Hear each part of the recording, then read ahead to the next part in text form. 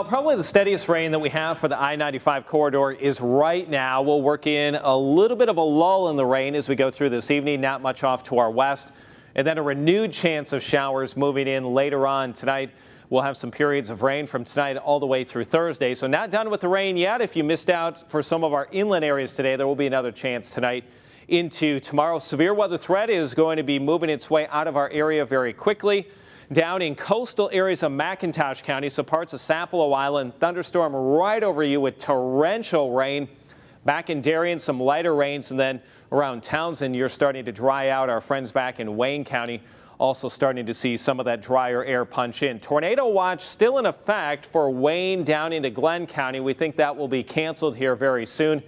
I notice how Pierce County no longer in the tornado watch, and with that threat shifting its way off to the east, we'll likely see those counties dropped here very soon. That tornado watch was more expansive earlier. It's being trimmed away as the threat exits off from the coastline. And then notice that lull I mentioned in the rain across most of southeast Georgia into the low country.